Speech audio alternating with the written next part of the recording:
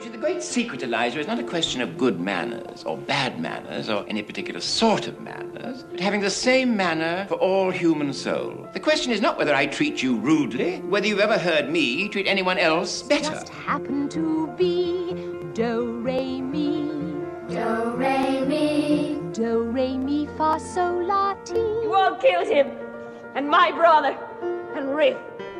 Not with bullets and guns, with hate. Well, I can kill too, because now I have hate. The price of freedom is high. Always has been. It's a price I'm willing to pay. If I'm the only one, then so be it. But I'm willing to bet I'm not. Deterrence is the art of producing in the mind of the enemy the fear to attack. Um homem não pode se dividir assim. A política e a poesia são demais para um só homem.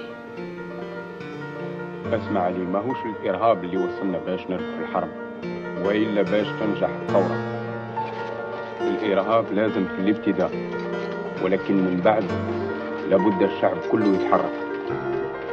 که متاسفانه اونم نشدش که فیلم بعدی هم که داشتیم با آقای رسولوف کار می‌کردیم تو همین خونه بودش بازم لوکیشن واحد.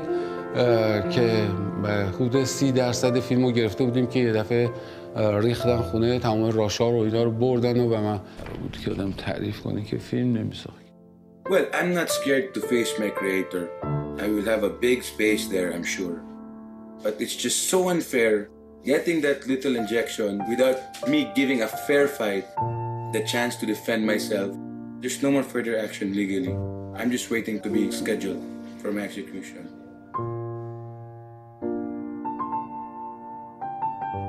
Ever since the aftermath of the past world wars, different cinema movements began to rise. In our generation, almost all of these movements are still relevant, but are not practiced. We live in today's generation where superhero genres like The Avengers, Justice League, almost every Michael Bay films, fantasy, and sci-fi are dominant. Thus, it is considered to be first cinema, wherein European art houses are the kind of films that rejects Hollywood formula but still adapts the expression of the author. But nevertheless, it's not really that far from Hollywood formula. You can see patterns in film language that still parallels to what we usually see in Hollywood films. While first and second cinema are more of interpretations in the current world, it is still an idea that lacks the push and motivation of the audience to learn from its lessons. Even the writer or director don't intend to make the audience realize themselves and change after watching the film. That idea is applied to the next movement that we're gonna be tackling about.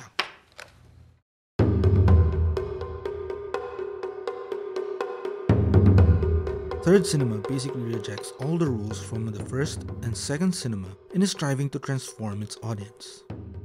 You can say that it's very close to a propaganda, but it actually aims higher revolution. The biggest aspect of third cinema is its national identity and questions the political side of the message.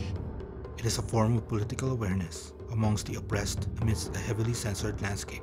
Its separation from the typical commercialized Hollywood gives the movement a powerful gesture to revolutionize the film industry by moving away from the typical formula of mainstream. Third cinema suffers from being independent, having their way without state funding and even exhibitions. The movement originated in Latin America in between the 60s to 70s. A pattern was formed also from other cinema movements since the two world wars occurred, and it became the ground zero for different waves of cinema movements around the world. The idea is to break away from the capitalistic motive of the Hollywood filmmaking and to give justice to what the mainstream media isn't showing or distracting from its viewers.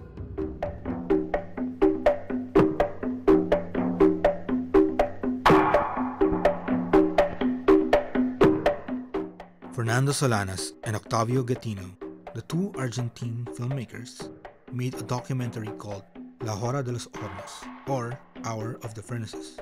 Ironically being called as third cinema filmmakers, they made the documentary as an act of liberation rather than calling it as a film. They used different kinds of film language as their arsenal in battling their way out to awaken their viewers' perspectives in the current issue.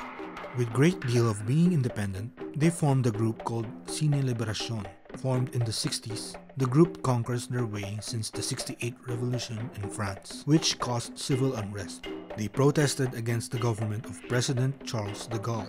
Third cinema filmmakers were inspired to create their own weapons to battle their way through oppression such as Terra em Transe or Entrance Earth by Glauber Rocha, Lucia by Humberto Solas, Vidas Secas or Barren Lives by Nelson Pereira dos Santos, and many more films that aspires courage from their predecessor's success in popularizing the movement.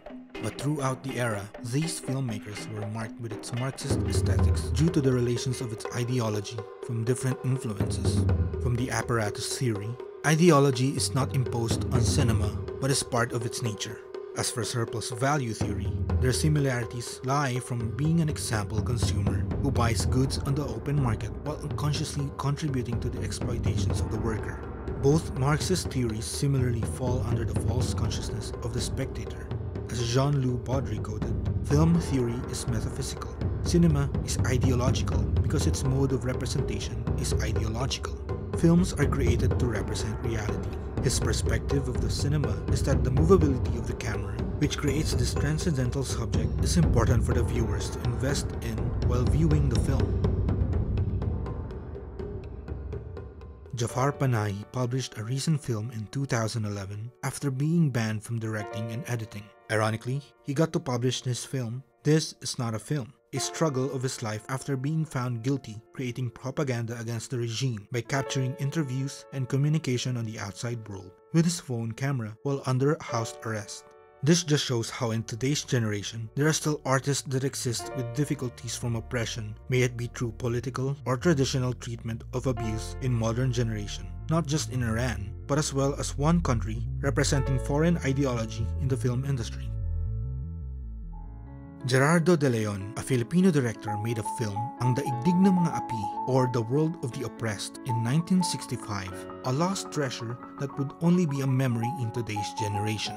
It is a story of both oppression and hope as the young student who witnessed death, rape, discrimination, and suffering offers his life to become a lawyer to defend those who suffer from oppression and injustices around him. This film was bound to be a call to the audience during the era of election before the rise of Ferdinand Marcos, who is now known to be one of the ill-famed dictators of the history of the Philippines. Most of the third cinema films that are sampled are usually documentary.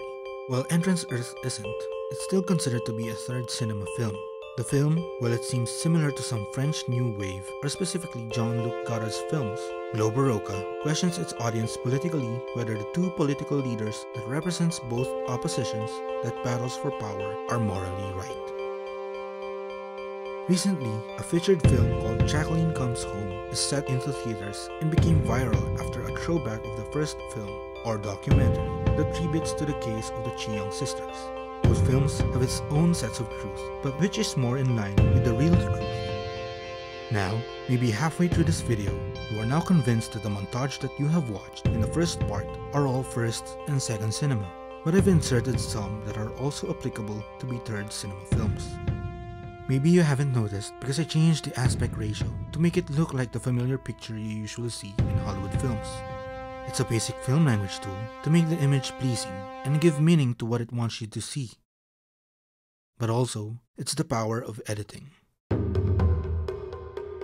Film is a process of discontinuity due to its manipulative cinematography and cuts from editing, but all in all is presented as one of organic unity. Humans are only limited to its senses to undergo history. Viewers are only allowed to watch, listen, gain, harness, contemplate, and theorize, but they are strictly viewed as a consuming entity of ideology in the eyes of the studio system. Third Cinema, in Manifesto, states that all films that adopt the first cinema model disseminate a bourgeoisie worldview. A world existence and historic process are enclosed within the frame of the screen inside of a cinema.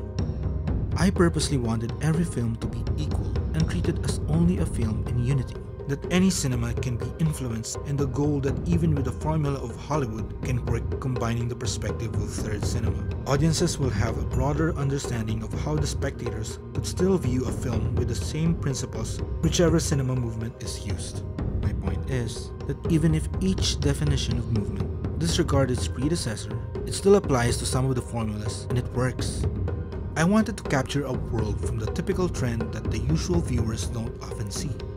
Cinema is a powerful medium in manipulating the mind of its viewers. Propaganda is not the only way to change one's standpoint, nor revolution. So if you're a filmmaker, will you be limited to these options? Whether your standpoint is set in revolutionizing or expressing what would be the best way? Or will you go outside your comfort zone and create an entirely different kind of film? No matter, you still direct your own decisions.